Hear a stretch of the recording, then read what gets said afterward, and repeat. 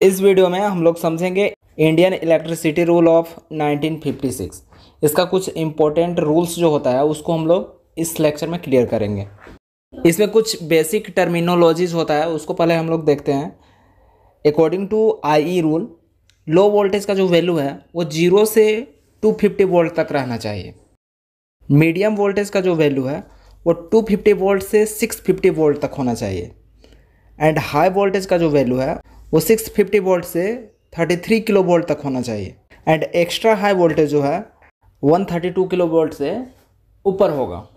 Extra high voltage से ऊपर modern extra high voltage आता है, जिसका वैल्यू 400 किलो वोल्ट होता है। एंड इससे ऊपर अल्ट्रा हाई वोल्टेज आता है, जिसका वैल्यू 765 किलो वोल्ट तक होता है।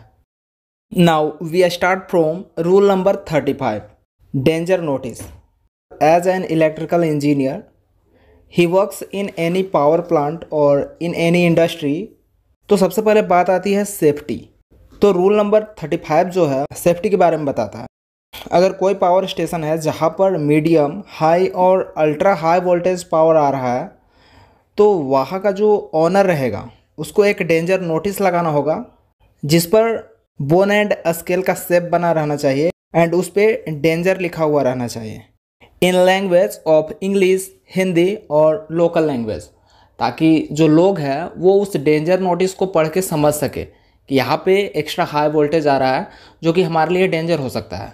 अगर एग्ज़ाम में I rule of thirty five पूछेगा तो आप एक्सप्लेन करेंगे about danger notice next rule है rule number forty four that indicates restoration of person suffering from electric shock rule number forty four में इंस्ट्रक्शन दिया जाता है कि किस तरह से किसी पर्सन को इलेक्ट्रिक शॉक से बचाया जा सकता है।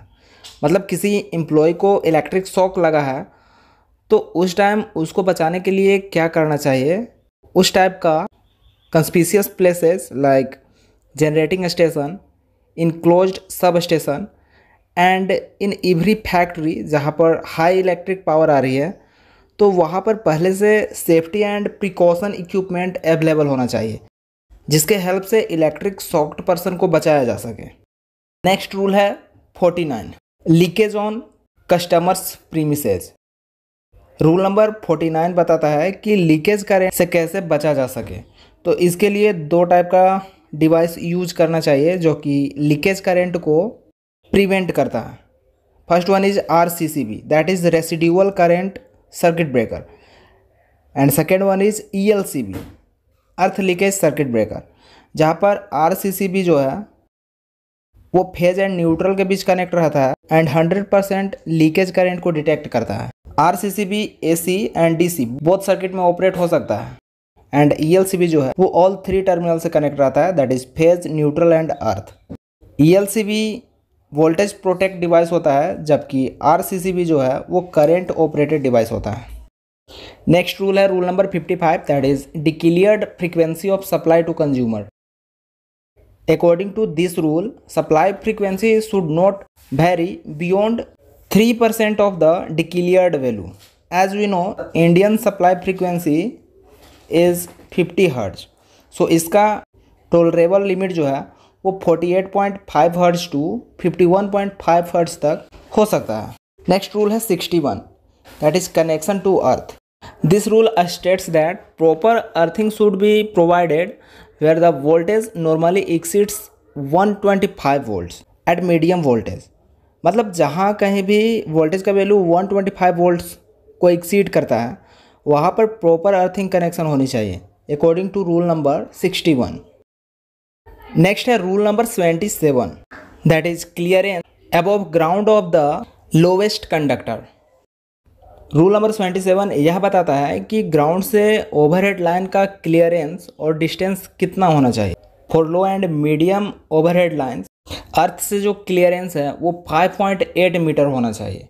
And for high voltage line the clearance would be 6.1 meters next rule है rule number 29 that is clearance from buildings of low and medium voltage and for service lines according to this rule हमें यह guideline बताया जाता है overhead life conductor का building से clearance कितना होना चाहिए? मतलब लाइफ कंडक्टर एंड बिल्डिंग के बीच का डिस्टेंस कितना होना चाहिए?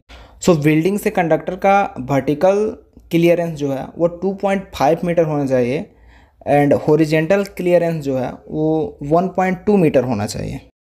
नेक्स्ट रूल है rule number eighty that is clearance from buildings of high and extra high voltages अगर बिल्डिंग के ऊपर से ओवरहेड कंडक्टर में हाई वोल्टेज और एक्स्ट्रा हाई वोल्टेज फ्लो कर रहा है तो उसका डिस्टेंस और क्लियरेंस बिल्डिंग से कितना होना चाहिए, वो रूल नंबर एटी हमें बताता है।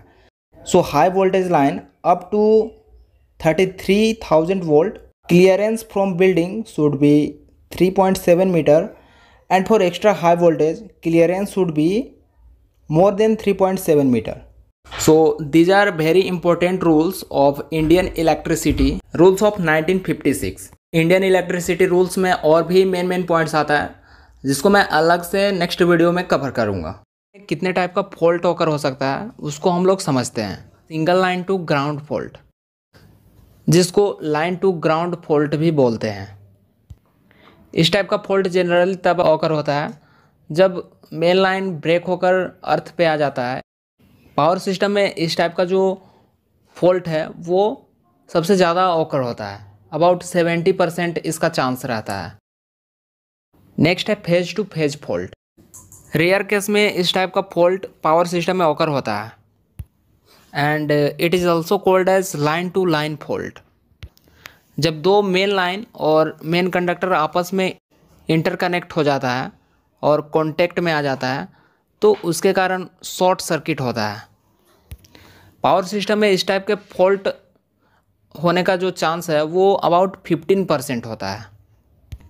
नेक्स्ट है two phase to ground fault जब दो फ़ेज़ के बीच में इंसुलेशन फेलियर होता है तो उसके कारण इस टाइप का फॉल्ट होता है।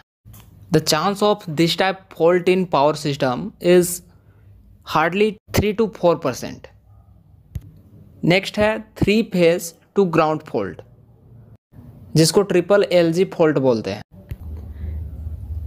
इस टाइप का फॉल्ट तब ऑकर होता है जब तीनों मेन फ़ेज़ का इंसुलेशन है, वो फेल हो जाता है। इस टाइप के फॉल्ट का भी चांस अबाउट थ्री परसेंट होता है। एंड लास्ट है all three phase short circuited जब तीनों मेन फ़ेज़ का इंसुलेशन फेल हो जाता है एंड जब तीनों मेन लाइन एक दूसरे के कॉन्टेक्ट में आ जाता है तो वहाँ पे इस टाइप का फॉल्ट होता है। पावर सिस्टम में इस टाइप के फॉल्ट का जो चांस है, वो अबाउट टू परसेंट होता है। तो इस तरह से कोई भी टॉपिक को अगर आप इजी वे में समझना चाहते हैं तो चैनल को सब्सक्राइब कर लें। और बेल आइकन को भी प्रेस कर लें ताकि वीडियोज़ आप तक पहुँच सकें।